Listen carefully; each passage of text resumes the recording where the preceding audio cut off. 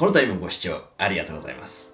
はい。そんなわけでね、本日の動画始めていきたいと思うんですけども、えー、先日、初めてのね、イベントを行わさせていただきまして、本当に多くのね、皆様にお会いできてね、まあいろんなお話できて、本当にね、楽しかったです。あと、無事にね、終わって、今、だいぶホッとしております。あの、まあ、今回のイベントでね、参加してくださった、まあ、企業様、本当にね、ご協力ありがとうございます。そしてね、ボランティアスタッフの皆様、本当に感謝の気持ちでいっぱいでございます。ありがとうございます。まあ、またね、こんな企画、まあ、イベントやっていきたいなと思いまして、まあ、次回、またね、イベントやっていきたいと思うんですけど、まあ、次は、まあ、より多くの方がね、また参加できるような、そんなね、イベントにしていきたいと思います。で、本日の動画なんですけども、今ね、話題沸騰中のこちらのご紹介でございます。まあ、こちらあの発売前に DJI さんにお借りして、まあ、ここ最近まだ1週間ぐらいなんですけど軽く飛ばしてまいりまして、まあ、その模様なんかはね動画の後半でねお伝えしていきたいと思います。まあ、このマビックミリなんでこんなに話題になってるかと申しますと、まあ、この小さな機体で 2.7K、30p で撮影することができます。こちら日本のみの重さになるんですが、えー、200g 未満の 199g でございます。で、これ写真撮影が最大で、えー、1200万画素で撮影できたり、まあ、そしてこちらの、はい、えー、3軸モーター搭載のジンバル、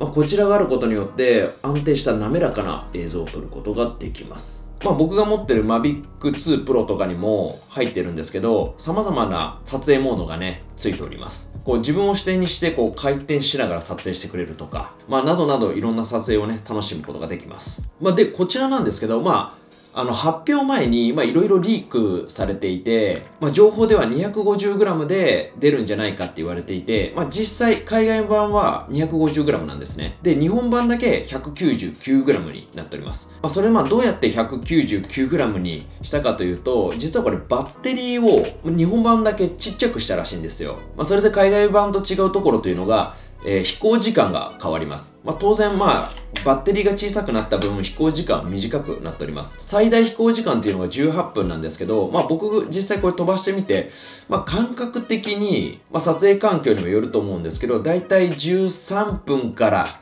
14分ぐらいじゃないかなと思いました。まあそれでなんでね、日本版だけ 199g なんだと、まああの疑問に思われてる方も多いと思いますし、まああのご存知の方も多いと思うんですけども、僕はあのドローン飛ばしますし、行政書士の先生にお願いして、まあ国土交通省から許可を得たドローンで撮影しております。まあそれでまあ今回もう 199g になることによってまあどんなことが変わったのかっていうのがまあ一応調べたらわかるんですけどまあ詳しいことってやっぱり行政書士の先生に聞いた方がいいなと思いましてまあ一応聞いてみましたもしかしたら僕の解釈が間違っていてあの、間違った情報を言ってしまってる可能性もあるので、もし間違っていたらぜひね、コメント欄にね、あの、訂正していただければと思います。え今撮影しているのが2019年の11月の14日でございます。現時点でのお話なんですけども、まあ、日本の航空法ですと 200g 未満だと、まあ、無人機に関する項目が適用されないんですね。え 200g 未満の機体については、えー、人口密集地、夜間飛行、目視外飛行、えー、まあ、30メートルの接近飛行等が、まあ、それも申請なしで飛ばせるようになったと。まあ、例えばイベント上空で飛ばせるようになったりとか、じゃあこの機体だったら規制も緩いんで、まあ、どこでも飛ばせるじゃないかと、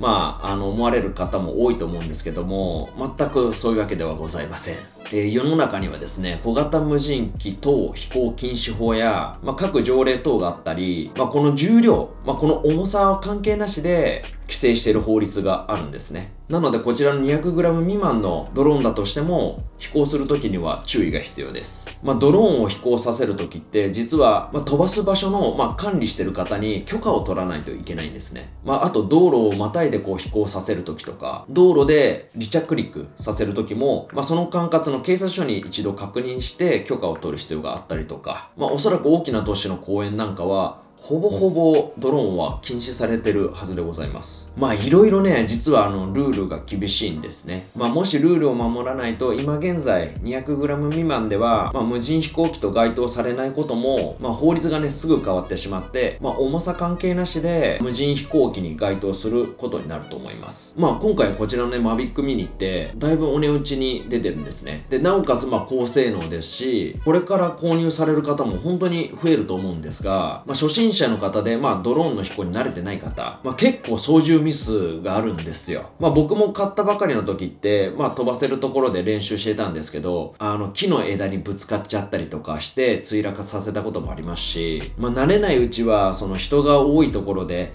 あの、飛ばしたりするのはやめた方がいいと思います。あの、例えばこれ人に当たってしまって怪我をしてしまったっていうことも、これからあると思うので、今までのドローンと違って、まあ、軽いんですけど、やっぱりこれ、プロペラが回っていると、プロペラってすごい鋭いんですよ。僕のまあ自爆だったんですけど、あの、プロペラが指に当たってしまって、見たらもう結構深く切れちゃったりしていたので、まあ本当にね、飛ばす時は注意してください。まあなので、まあ操縦や飛行になれるまでは訓練を重ねて、まあ最新のね、注意を払っていきましょう。これは私を含めてです。はい。はい。そんなわけで、前置きが長くなってしまいましたが、マビックミニで撮影してきた映像をご覧いただきたいと思います。それではどうぞ。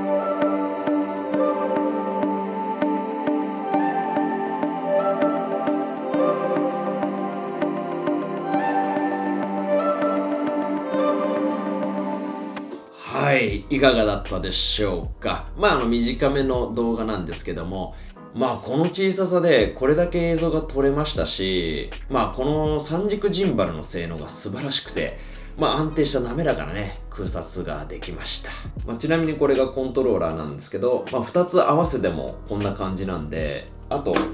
はい、こんな感じで、はい、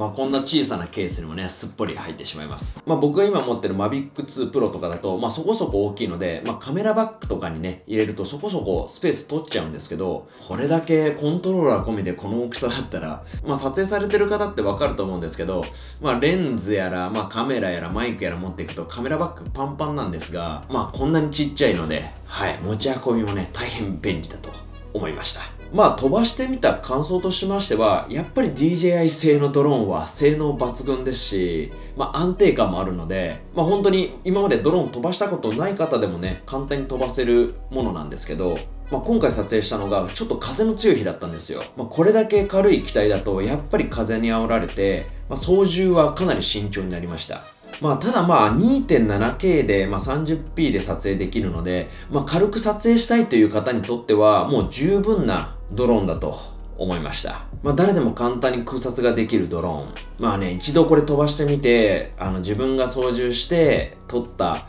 まあ、空撮の映像を見るとね、あの、ハマる人続出すると思います。まあ、購入される方はぜひね、まあ、ルールを守って、まあ、安全な空の旅を楽しんでください。もしこの動画が参考になりましたら、グッドボタンよろしくお願いいたします。あと、コメントでもし、まあ、今回僕が話してる内容が間違っていることがあったら、下のコメント欄にね、訂正をしていただければと思います。あと、ぜひリクエストなどございましたら、コメント欄にね、残してください。そして、はい、えー、Twitter、